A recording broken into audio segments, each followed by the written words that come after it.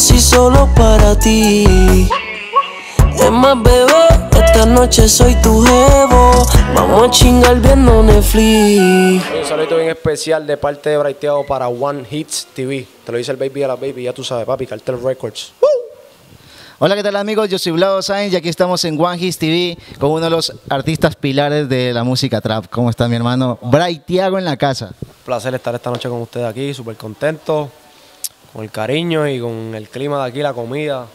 Estoy súper a gusto con todo esto que está pasando aquí. Y, y ahora que has estado ya casi un día ¿no? entero aquí en Barcelona, ¿cómo has visto el, el ambiente aquí en esta ciudad? Mira, ayer llegamos y descansamos por la noche, nos fuimos a caminar, a comernos algo. Y nada, me gusta mucho. Estábamos en Tenerife y de Tenerife cogimos para acá y súper tranquilo aquí, la gente, el carisma, la comida. Me gusta mucho esto aquí. La primera vez que estoy aquí con ustedes y, y estoy que no me quiero ir. Oye, yo sé que eh, ya, ya estarás cansado que te pregunten esto, pero ¿cómo empiezas tú en esto de la música y cómo llegas tú a esta gran empresa que es que el Cartel Record? Pues mira, yo, para los que muchos no lo saben, pero yo la primera canción la grabé a los 12 años. So que paré hasta los 18, que fue que grabé la primera canción profesionalmente en un estudio. Y, y nada, seguí haciendo mis canciones sin sacarlas apenas. Estaba grabando las canciones, las guardaba, las, las- la- las primeras dos canciones que saqué. Y ya en la tercera canción, pues logró llegar a donde Dari Yankee a través de esa persona que está ahí, que es mi hermano y el Ryan. Me llevó donde él y escuchó mis canciones. Y pues nada, un día estábamos, un día me llamaron, mira, este, para que vengas aquí un momento, para que, que, el D-Way está aquí para que escuche las canciones y se las llevé. Escuchó la primera canción y pues se quedó ahí escuchándola hasta el último minuto y me dijo, ¿qué edad tú tienes? ¿Y cuál es tu nombre artístico? Y yo seguí hablando con él un ratito y me dijo, apunta, a- dame tu número que voy a apuntarlo para llamarte, como en una semana te voy a llamar. Y yo, no me va a llamar nada, ¿sabes? Embuste. Pero eso es como que te dice, bueno, ya te llamaré, como que eso casi siempre dicen, ¿no? Y me fui sin esperanza, en verdad, y me llamó. Me llamó como a las dos semanas y, y me abrió las puertas del estudio y hasta el sol de hoy ya, ya tenía Tú me enamoraste en la, en la calle, ya tenía como dos canciones de trap sonando.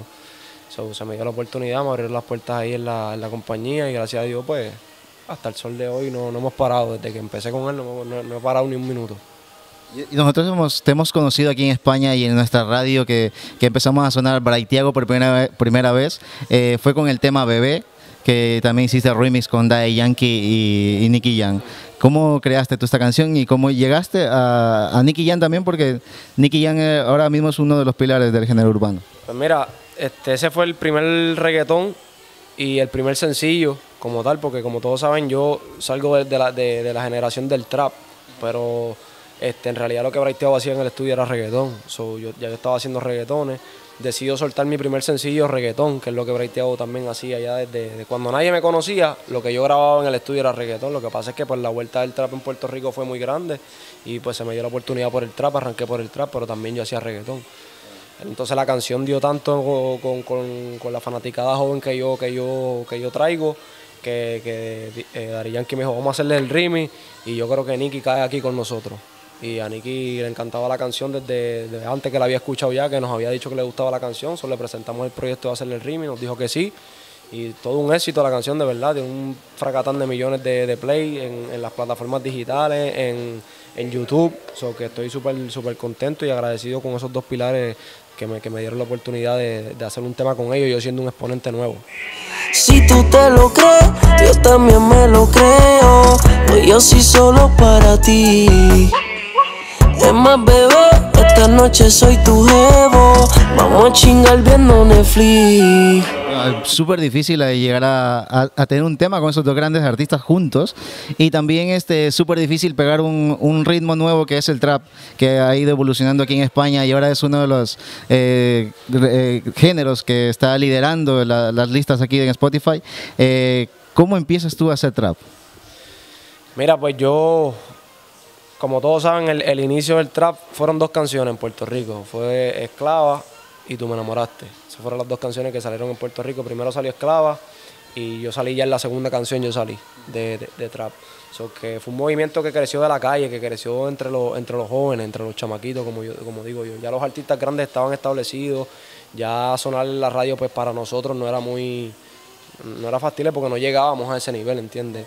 también había que invertir dinero en las canciones, o tampoco nosotros podíamos, o que empezamos a piratear las canciones por SoundCloud en Puerto Rico y los, chamaquitos de las escuelas, de los barrios, empezaron a escuchar un nuevo movimiento porque el trap sale de artistas jóvenes como ellos y sale de, lo que la gente quiere escuchar. Ya el, ya el reggaetón estaba muy comercial, ¿entiendes? Y nosotros en el trap empezamos a hablar lo que la juventud quiere escuchar lo que la gente quiere escuchar cuando van a la discoteca y se dan dos cervezas y un trago, quieren escuchar lo que, lo que está pasando en, la juventud.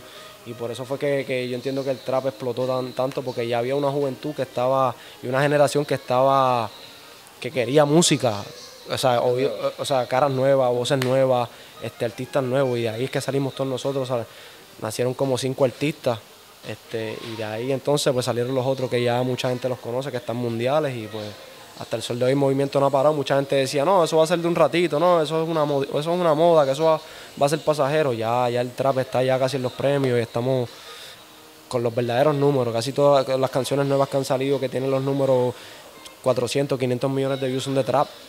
¿Entiendes? Que, que, está, el movimiento va, va y sigue creciendo y cada vez más y más y más. eso no va a parar. Y el movimiento está muy fuerte que artistas que, que, cantan pop, sean como eh, también fue Elvis Crespo que hizo un trap, Shakira empezó a hacer trap, Maluma que ha sido como un pop reggaetón también eh, se metió a hacer trap y ahora hace poco yo vi una noticia de que eh, Carlos Vives está hablando mal de esta música diciendo que es una música pornográfica. ¿Qué opinas de estas personas que, que a lo mucho van entrando al trap pero no son de este estilo? Yo entiendo que cada cual tiene su opinión sobre, sobre la música, sobre el trap. Entiendo que hay que respetar, como, mismo se le respeta a él el tipo de música que hace, eh, hay que respetar el tipo de música que los demás hacen, porque muchos artistas como yo nos buscamos el, pan de cada día y, el pan y, llevamos un plato de comida a nuestra familia con esta música, ¿entiendes? Y que cada cual escuche lo que quiera escuchar. Si tú quieres escuchar música que no, que no hable mal o música cristiana, lo que tú quieras escuchar, pues eso es lo que, o sea, tú, tú lo buscas en Spotify, buscas en YouTube, o sea, si tú quieres escuchar música un poco más explícita, pues tú buscas el trap. Eso es para los gustos los colores. Si a él no le gusta o a otra persona no le gusta, yo entiendo que es muy fácil no escucharlo y es como todo. Yo respeto su opinión y espero que todo el que no apoye el movimiento del trap respete que nosotros pues tenemos un movimiento y nos, buscamos nuestro, nuestras habichuelas con este movimiento. Y es un movimiento que nos ha costado muchísimo a mí, a mis colegas llevar al nivel donde está, que yo respeto la opinión de, todo público siempre y cuando no nos falten el respeto. Si tú te lo crees, yo también me lo creo. Pues yo sí solo para ti. Es más, bebé, esta noche soy tu jevo. Vamos a chingar viendo Netflix. Tremendo estilo que es el trap aquí, súper pegado en todas las listas de Spotify. Eh, lideran eh, como el artista que es líder aquí en España es Bad Bunny y él tiene una canción contigo que se llama Netflix que aquí ha, rompido desde que salió eh, y tiene más de 100 millones ya en YouTube y un montón de billones también en, Spotify. ¿Cómo llegaron a, a esta canción? ¿Cómo la crearon? Mira, este esta canción yo se la presento a él justamente en el video de Me Mata, de la canción de Me Mata, que, fue la primera canción que yo grabé con él. Y pues en el video estábamos hablando de música y hablando de unas cosas y yo le dije, mira, tengo una canción que yo creo que sería un palo tuyo, porque es un concepto muy diferente. Como todos saben, él salió con, un estilo nuevo, él salió con, con un flow diferente. Yo creo que esto es lo que está pasando y nadie lo ha llevado a una canción. Cuando tú tienes un novio, tú tienes una noviecita, un jevito, una jevita y lo invitas a ver película, ¿entiendes? Eso, eso es una excusa para pasar un buen rato con ella, ¿entiendes? O con él. Y pues yo le dije, le expliqué el concepto de la canción, él me entendió, me dijo, ya lo es verdad, yo lo he hecho, a mí me ha pasado y a mí también, por eso es que yo creo que a mucha gente también le pasa, vamos a hacerla. Y la hicimos, y bueno, la grabamos, le hicimos el video y la canción estuvo como tres meses ahí en, viendo cuando la sacamos y la soltamos y era un super éxito. Tiene, ya va para 115 millones de views. Este, un mundial casi. Sí, es, eh, ya está certificado como disco de platino. Eh, que el público lo aceptó. Este, Bad Bunny fue para mí, de la generación de todos nosotros, fue el último que salió, porque ya después de Bad Bunny, si se fijan, pues hay, hay artistas en Puerto Rico que están saliendo ahora, que de pronto la, gente acá, o sea, cuando esté en mundial los van a conocer. Pero de, los artistas así que explotaron mundialmente y se pegaron duro, duro, duro, Bad fue el último y, de los más que está rompiendo ahora mismo, de verdad que mi respeto y, y, la canción todo un éxito, de verdad. Espero en algún momento unirnos de nuevo y hacer otro palete. Oye, y también hemos visto, yo te seguíamos mucho en las redes sociales, hemos visto que vas a hacer canciones con Jonsi, que también se está entrando aquí fuerte en las radios y en las emisoras de aquí de España. Eh, también este, con Coscuyuela, Osuna, hemos visto que va a sacar un remix de una canción tuya. Eh, ¿qué, se viene con ellos? Mira, la, canción de, de como me acabas de mencionar, este, estamos pautados para soltarla esta semana aquí estando con ustedes. Se supone que ya este fin de semana soltemos la canción. Este, es un tema súper, súper diferente y yo estoy seguro que va a haber mucho de qué hablar porque el chamaquito tiene un flow muy... Él salió con el trap, que es, el que pompea en, los shows, que es el que... ¿Entiendes? El chamaquito está trayendo un, concepto nuevo, se lo, apoyo porque viene de abajo. O sea, es un chamaquito que está saliendo y está representando el trap y él viene de abajo. Y por eso fue que me gustó mucho y, lo conozco desde el principio. Y siempre tuvimos algo como que, mira, vamos a colaborar, vamos a hacer algo, pero como él tenía sus cosas y yo tenía mis cosas, pues nunca nos habíamos podido unir, pero nos unimos y montamos un palo.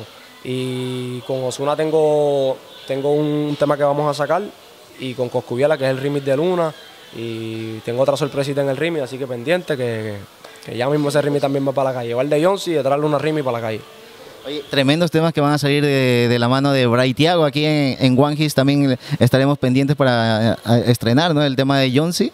Y también queremos hablar un poquito de la situación que está pasando en Puerto Rico. Eh, ¿Tú sabes formas de ayudar eh, la gente que está aquí en España? ¿Cómo puede ayudar? O, dónde se tiene que dirigir?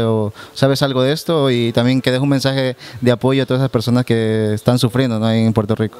No, mira, este, para las personas que quieran aportar, ayudar este, muy pendiente a, las cuentas de los artistas. Este, casi todos nosotros estamos posteando, reposteando las cuentas donde se pueden, donde se pueden ayudar, los envíos, cómo se puede ayudar de, las distintas maneras. Las redes, este, los artistas de, Puerto Rico y los artistas mundiales están dejando saber cómo se puede ayudar. Ah, Puerto Rico, Puerto Rico es un país que la gente se apoya mucho, la gente estemos, estemos en buenas o en malas, siempre estamos unidos. Yo sé que, que nos vamos a levantar de esta.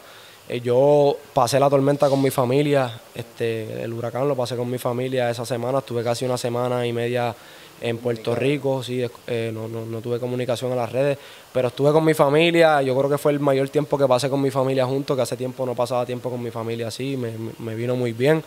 Y, eh, y, dentro de todo ayudamos, o sea, yo no lo posteé en las redes, este, pero ayudamos a muchas personas que que necesitaban en el momento, vecinos, este, allegados que necesitaban que uno le diera la mano. Y, yo creo que en Puerto Rico, tanto como yo, hay muchos artistas que están haciendo lo mismo, así que yo sé que nos vamos a levantar de esta y a toda la gente de Puerto Rico que me esté viendo, ellos saben que de ahí yo salí y ahí, ahí está mi corazón, ahí está mi familia, que yo siempre voy a estar aquí para lo que, para lo que mi país necesite, para lo que mi gente necesite. De aquí también mandamos apoyo a todas las personas que están sufriendo en Puerto Rico y también estaremos posteando en las redes eh, formas ¿no? de ayudar para esa gente que lo está pasando mal. Eh, también comentar a la gente qué es lo que se viene nuevo de Braithiago, qué, qué piensas hacer de cara a lo que queda de año y el 2018. Mira, ya, ya estamos en octubre, quedan ¿qué? dos meses, tres meses para que se finalice el año.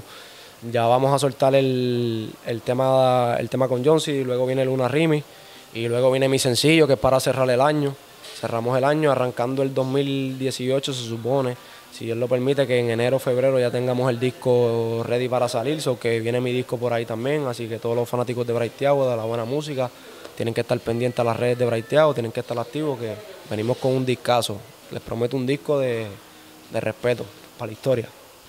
Se viene el disco de Braithiago, tienen que estar pendientes a sus redes sociales. Y antes de terminar esta gran entrevista, quiero que mandes un consejo a todas las personas que quieren empezar en esto de la música. Mira, yo vine de abajo, como yo siempre le digo a mis fanáticos, yo vine de abajo, yo salí de, una familia que mi mamá nos crió a mí, a mis tres hermanos solos, solitas. Y, yo digo que, no importa, sea en la música, sea en el deporte, sea en un trabajo, sea en tu profesión, eh, lo que tú quieres ser estudiando en la universidad, que, nunca dejes de perseguir lo que tu corazón te dice, lo que tú, lo que tú crees que, te va, que te va a llenar como persona. Hay muchas cosas que yo hice antes de, la música que, sí me gustaban, pero no, no era algo que me llenaba. Sobre la música es lo que a mí me llena, que yo ahora mismo yo no estoy trabajando. O sea, ir a un show, ir al estudio, hacer una entrevista para mí no es un trabajo porque yo me lo disfruto. O que tú tienes que buscar siempre que, te sientas bien contigo mismo y, que te disfrutes lo que estás haciendo y que, no te quite, que no te quite porque hay personas que vienen de donde menos tú te lo piensas y salen de, de abajo para arriba y llegan a ser grandes, en la música, en su trabajo, con sus negocios, así que, que le echen ganas encima. Yo te quiero agradecer por haber estado con nosotros y saludarte otra vez y que tengas un buen show aquí en Barcelona. Eh, manda un saludo para todas las personas que nos ven en One Hits. Oye, un saludito para todas esas personas que están viendo esta entrevista. No se lo pueden perder. Vamos a romperlo hoy en Barcelona. Y ustedes saben, pendientes siempre a las redes. Braithiago. Esto ha sido la entrevista de Braithiago. Síganos en One Hits TV. Si tú te lo crees, yo también me lo creo. No, yo sí solo para ti. Es más, bebé, esta noche soy tu jevo. Vamos a chingar viendo Netflix.